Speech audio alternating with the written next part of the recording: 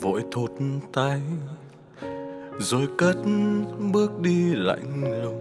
Chàng buồn thế lương, ngồi cúi ngắm tay của mình. Rồi chàng ngồi giữa màn hình tối đen, cái áo vàng nhìn chất ghê, hát bốn năm câu, tay đặt lên tim chàng lại đôi đồ đen.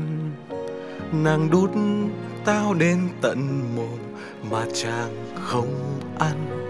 Chàng đè nàng ra, đớp luôn. Và rồi họ chơi một mạch tới đêm. Sống mỗi người nằm mỗi bên, cô ngước sang nhìn. Rồi thấy rơi tấm hình tại sao đang hay lại hát thế này? Bọn tôi đều biết ông hát hay rồi, chúng tôi là gì? Ông anh tên là du thiên. Màn hình chia đôi thiên bấm điện thoại, còn nàng giận thiên không bắt máy rồi, bỗng thiên cau bằn. Zalo màn hình sáng lên. Chàng Chàng có biết thiếp yêu chàng nhiều lắm không? Cho thiếp vuốt cầm chàng một cái nha. Kìa chàng, Sao chàng ngáy to vậy? Thiếp rơi lệ vì chàng.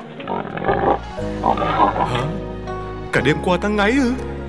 Không Không thể có chuyện đó được. Nàng Nàng đâu rồi? Ta phải tìm nàng nói chuyện cho ra lẽ.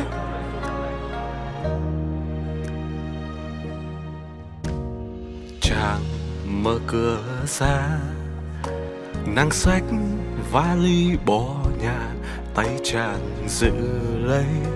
À nhưng nàng lại đấy ra.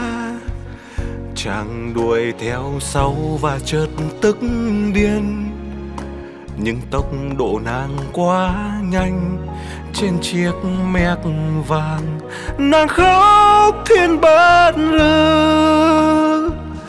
Và rồi ông anh lưng thững về nhà, mặt buồn quỳ gối ở dưới sàn nhà. Bỗng anh thể hiện, anh ta là dân đấm bốc làm một lon bia cho đỡ buồn đời, mà tại sao bia nó dễ say vậy cúi xuống cầm ảnh khẽ cười rồi chợt xé luôn.